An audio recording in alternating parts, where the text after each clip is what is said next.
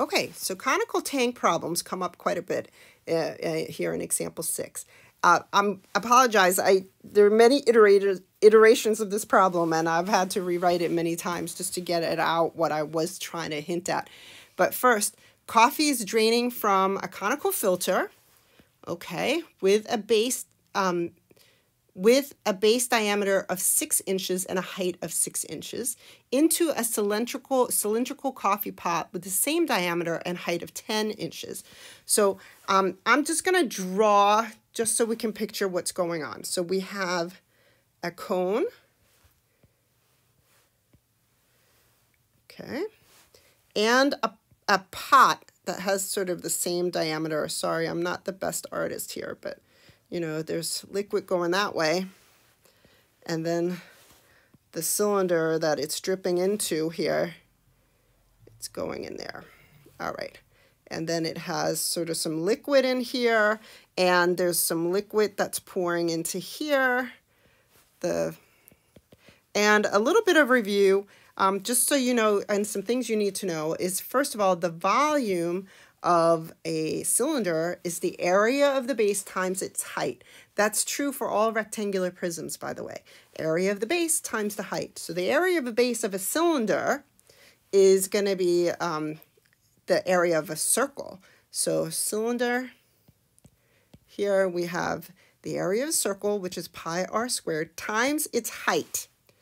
And for the cone, which we will most likely also need, is um, the area of a cylinder, but one third of that. And rectangular prisms also work the same way, or I should say, um, yeah, polynomial prisms or right prisms work the same way. You take the area of the base times the height, treat it like a rectangular prism, and then if you take a pyramid of that, it's going to be one third of its volume. So in this case, it's one third, and then pi r squared, which is the area of the base, times the height. So most likely because we're talking uh, a rate in terms of volume, and the reason why I know it's volume is that it's in cubic inches, is I probably will need these volume formulas. Now, the coffee is dripping into the coffee pot, and that's the first part of the question. It is saying here, how fast is the level in the pot rising when the coffee in the cone is five inches deep? As a matter of fact, it doesn't really matter how deep the the water in the cone actually is because it's saying that the rate is um, 10 uh, cubic inches per minute. So this is a constant rate all along. So at this point, it doesn't really change anything. So if I look at just the conical part of it, it looks like this.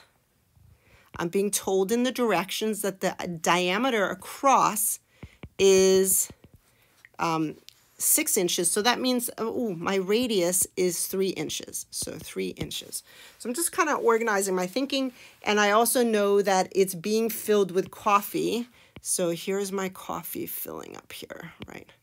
So at some point, the coffee is dripping in there.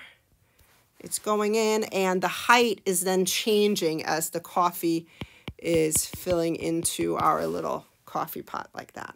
So, and the volume is getting bigger. There's more and more in there. So I know that my dV dt is going to be positive and it's positive 10 cubic inches per minute because again the volume inside of the coffee pot is getting bigger we're getting more coffee in there which is the goal anyways right so let's organize our thinking a little bit there's some things that are constant. So if I have the volume of that cylinder, I have pi r squared times h, but the radius does not change at any given point, whether there's a little coffee or a lot coffee, a lot of coffee, the radius of that cylindrical shape is not going to change. So this is actually a constant. It's not something that varies.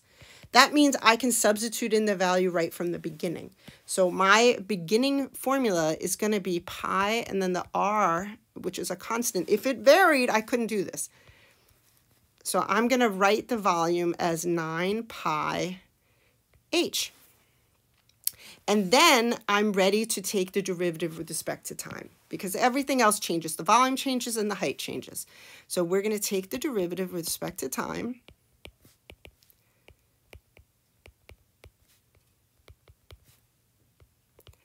And we end up with dv dt is equal to 9 pi dh dt. Oh, something unique happens here, by the way. Um, essentially, I get the, the volume, the rate of the volume change is equal to some constant times another rate. That means just reviewing from algebra that they're directly proportional. So the rate of the volume is directly proportional to the rate of the height of this in this particular problem because you have a constant k times something that varies. So you have something that varies is equal to the constant k times something else that varies. So that's a direct variation or directly proportional is what that means, just as an aside.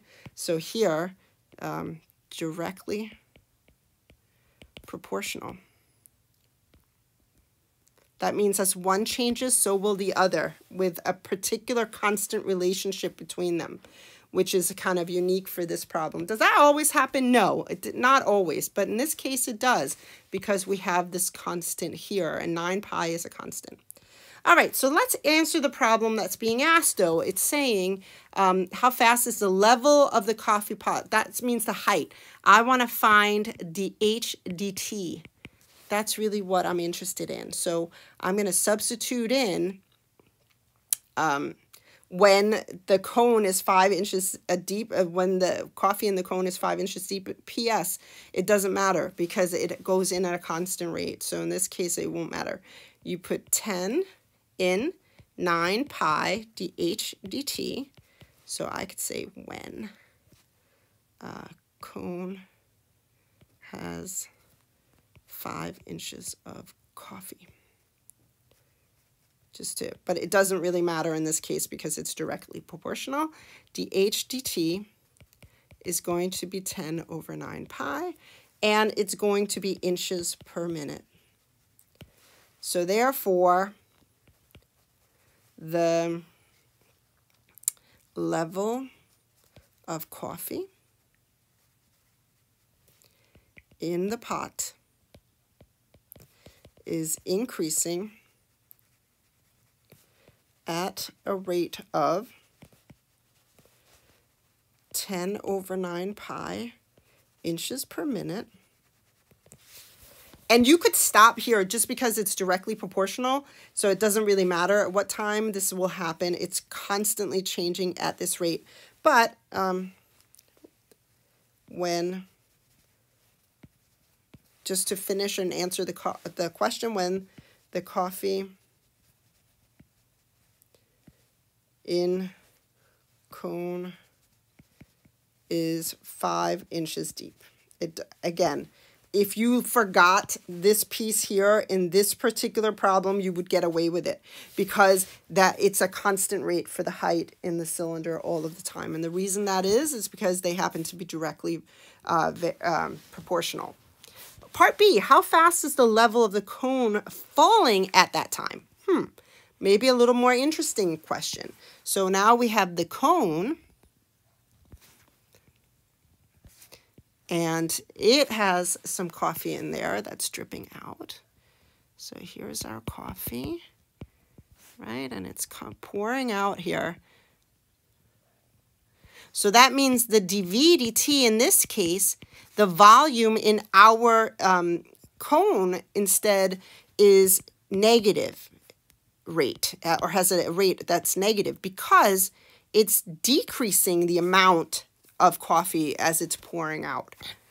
If I look at it, it's still, the, the given information is that the radius here, because the diameter is 3, um, our diameter is 6, is 3, and the height in here is 6.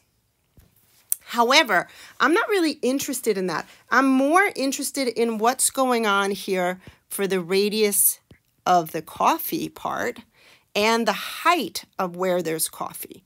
So it's not for the whole cone. It's like what's happening to the coffee in that cone.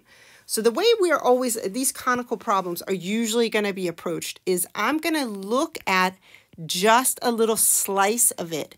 And I'm looking at this part here, 3, 6, and then we have R and H. These are two similar triangles. It's sort of very similar to the shadow problem. You kind of approach it the same way. Draw the little triangle on the outside.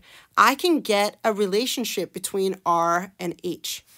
Um, so in this case, I end up with 3 over R is equal to 6 over H, or whichever way your um, geometry teachers told you to do it. You could do 3, 3 over 6 is equal to R over H, or whichever way. In this case, I'm going to cross multiply. 3h is equal to 6r. Now I'm going to come back to this in a minute because I'm going to try and rewrite the volume in terms of r or in terms of h depending on what the question is asking. So now I'm going to go and find the volume formula for a cone which was 1 third pi r squared h. And it has this the the radius changes as the water goes or the coffee goes out of the filter the radius gets smaller and smaller and smaller and the height is changing. So this varies and this varies. So I cannot change that. I cannot put in a constant right now and then take the derivative. I would have to either rewrite the whole problem in terms of r or in terms of h on the right hand side or I could use the product rule and then have dr dt and dh dt and substitute in those values. Now, I don't have both of those things. So what I'm going to do instead is, and it makes your life easier, is it necessary? No, I'm just trying to give you some advice. In this problem, it's asking how fast the level is changing. So I want to find dh dt. Now, if I want to find dh dt, it's beneficial for me to rewrite the problem in terms of h. So rewrite in terms of H. And that's easily done because I have a relationship over here between H and R. So I'm going to replace the R in with H values or with H here. So I can solve for R in terms of H and rewrite it here on the left-hand side. What do I get?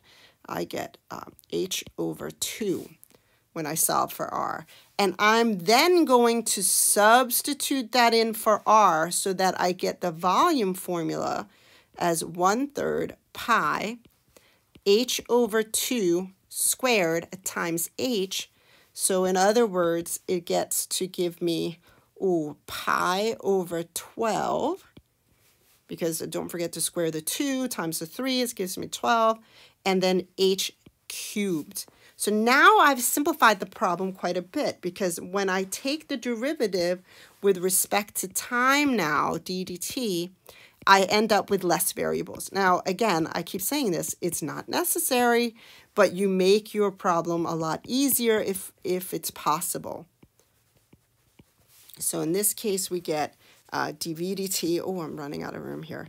So dv dt is equal to um, pi over 4 h squared dh dt. Now, in this case, uh, PS, this is not um, directly proportional or directly, it doesn't vary directly because there's still an h there. So here it matters what h is. So we need to then look at when, when h is equal to 5 because it says how fast is the cone or how fast is the the level changing in the cone when it's 5 inches deep. So I'm going up to part A to catch that. So, okay. I also know that dv dt is negative 10. So we're going to plug in negative 10 is equal to pi over 4, 5 squared dh dt, dh dt. So therefore, we get a dH dt of negative, which makes sense. It should be negative because the water is falling or the coffee level is falling inside the filter. So in this case, what do we get here? 10 over 25, so 40 over 25, so 8 over 5 pi, maybe? Am I doing that right? 8 over 5 pi. And then, ooh, that's going to be inches per minute. So the level is decreasing. So therefore, the level of coffee in the cone is decreasing